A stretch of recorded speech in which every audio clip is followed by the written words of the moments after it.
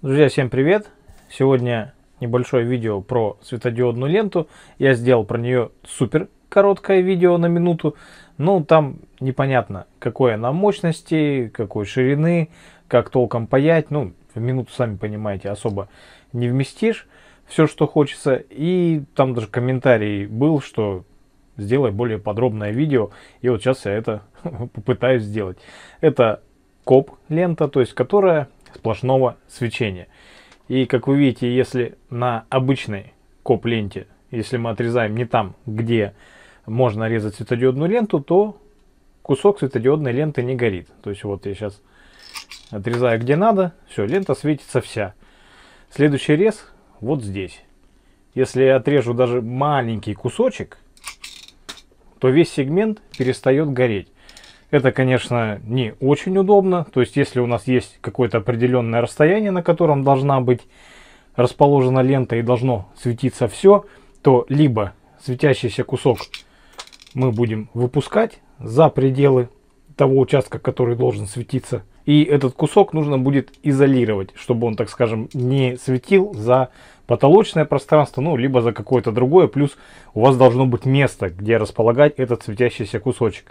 Либо светодиодная лента не будет доходить до какого-то конца, и у вас э, останутся тогда темные пятна. Это что касается обычных лент. Вот я еще раз отрежу кусочек. Видите, и сразу весь сегмент перестает гореть. Тогда как сейчас появилась вот такая лента. Э, называется она «Свободный рез». Потом мы с вами упаковочку посмотрим. Ее можно резать практически в любом месте. То есть вот я по кусочкам прям отрезаю. И она все равно горит. То есть хоть, хоть побольше, хоть вот под углом. Все равно лента продолжает гореть. Я хочу сейчас ее спаять. Посмотрим ее ширину. А, сравним ее с обычной лентой. Потому что а, многие подбирают ленту просто по мощности. Тогда как нужно подбирать ее по тому, сколько света она выдает. И вот э, коп-ленты, они выдают света меньше. Обычная коп-лента, которую я вам показывал, это вот такая. Она 12 ватт на метр. Резать ее можно через 5 сантиметров. И, как вы уже поняли, либо светящийся хвост вы выпускаете и изолируете, чтобы он не светился вам там, где не нужно. Либо вам придется не доводить, либо подгонять, так скажем, какое-то изделие к длине, которая соответствует резу.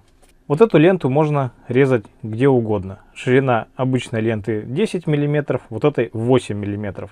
Но и мощность разная. Обычная лента 12 Вт, вот эта лента 8 Вт, но у нее 512 светодиодов.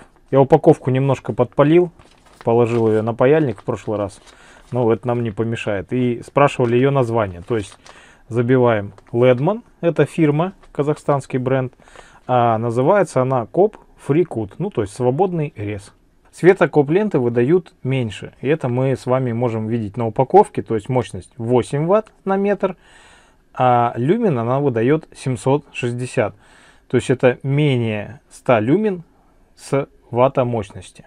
Для того, чтобы мы с вами могли убедиться практически в этом, а не просто прочитав цифры, я сравню вот эту ленту с обычной 10 ватткой. И смотрите, вот эта лента 8 ватт, напоминаю, и она дает 760 люмен с метра.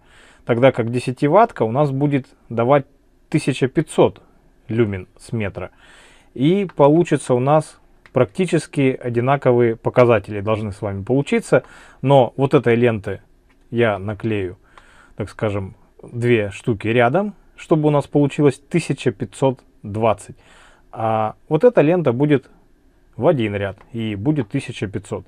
То есть при потреблении 16 ватт, здесь потребление будет 10. Вот это с вами попробуем и сравнить. Ну и также, конечно, попаяем и порежем данную ленту свободный рез. У этой ленты присутствуют какие-то точки нанесены. То есть, э, по идее, резать можно, наверное, по этим точкам. Ну, они идут, конечно, достаточно часто. И, как вы видите, тут э, просвечиваются, наверное, сами светодиоды. Бывает иногда отрежешь, и лента все-таки на один сегмент не светится. То есть вот этот момент я тоже хочу понять. То есть лучше как резать? Либо по сегментам, либо вообще хоть где. Сейчас отрежу четко по точечке. Оп. Давайте подключим. Чуть-чуть не работает. Как будто вот пол сегмента. То есть, видите, она светится такими кусочками. На камере даже не видно. И один сегмент перестал светиться. А если я между точечек отрежу? О, теперь она светится вся. Интересно. И у меня вопрос еще, можно ли ее резать под 45 градусов. И как это делать? Либо по точкам, либо между точками, чтобы она светилась сплошняком. Давайте также между точками сейчас отрежем. Вот так это выглядит. И подключу сейчас. Видите, один фрагмент не горит. Он составляет примерно, ну, тут пару миллиметров, здесь, наверное, миллиметров 5.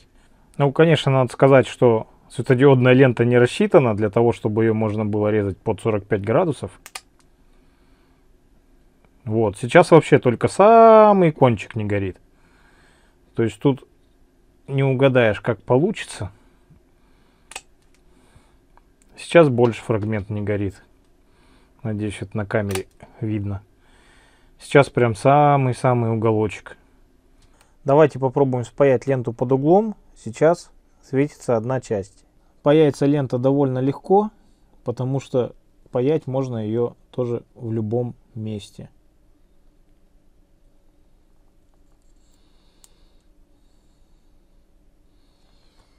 Давайте проверим. Подключаю питание.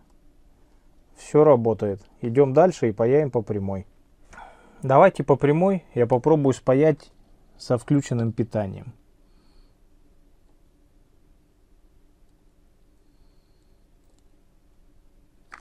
одна сторона.